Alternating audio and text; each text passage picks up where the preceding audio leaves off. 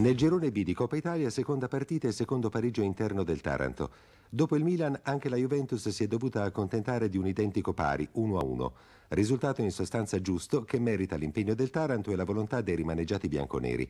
Solo tre i titolari campioni d'Italia, Boninsegna, Furino e Morini, e tre riserve, Spinosi, Fanna e rientrante Virdis, accanto ai promettenti rincalzi della Juventus.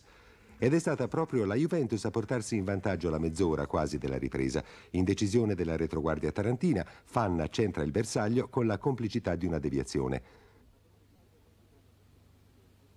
I padroni di casa non si danno per vinti e ripetuti quanto vani sono i tentativi a rete. Morini e compagni però fanno buona guardia, almeno fino allo scadere del tempo regolamentare, perché nei secondi immediatamente successivi il Taranto riesce a pareggiare con un preciso colpo di testa di Caputi. Entusiasmo in campo e sugli spalti anche per il primato provvisorio del Taranto nel girone B di Coppa Italia.